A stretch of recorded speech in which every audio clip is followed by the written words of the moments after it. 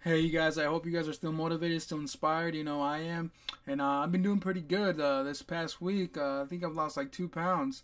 Uh, there's two weigh ins because uh, I joined a, uh, a weight loss program here in, in Caldwell, here where I live.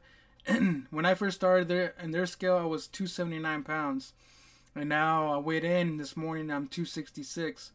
My scale, when I started the program, I was 284 and now I'm 271 so it's not much of a difference you know but still I'm still losing weight haven't gained any weight I've been on strict diet for the past probably two months and uh, I'm still pretty good you know I hope you guys are still inspired still motivated you know time to get you know a healthier you and that's what I'm doing and I'm feeling I'm feeling great uh, I'm seeing results and uh, don't give up. Don't, doesn't matter, you know, if it gets hard, don't give up. Just you know, keep keep pushing, and you won't regret it. I swear. And if you give up, you you will regret it. So that's a quick update. And now let's talk about a little bit about carrots. You know, their health benefits and everything. So the first one, it improves vision. Uh, second one, it's cancer prevention.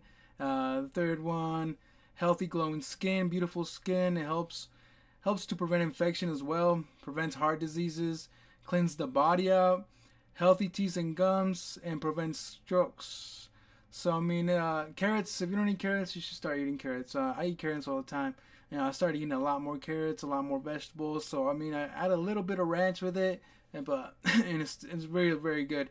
Uh, you can you know eat them, you know, boil them up and eat them too. But, but I mean, they're a good snack, a good healthy snack. So I mean, if you're not eating carrots, you should start eating carrots. They're, they're pretty good and they they have a great, you know, great benefits. So, and I'm gonna put the link where I got this information to get more, you know, more in detail, you know, so you guys can get read more in detail of everything. But I mean, uh, I've been doing pretty good, and I, I hope you guys are too. I hope you guys are still inspired. Whoever watches this video gets inspired, you know, joins me in my journey, you know of motivating other people to do what I'm doing. And uh, I'll end this with a quote Don't make a habit of choosing what feels good over what actually is good for you. So, I mean, stay motivated, is stay on track. Because uh, if you, you know, if you, if you don't stay on track, you, will regret it. I've done that so many times over the years. Uh, you know, I quit, then you know, time passes by, and I, re- I regret quitting. Because if I didn't quit, I would have probably reached my goal by now.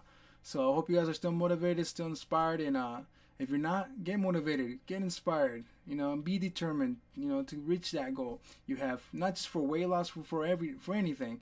Uh, don't let anybody tell you you can't do something. But I'll see you guys in the next video and stay motivated.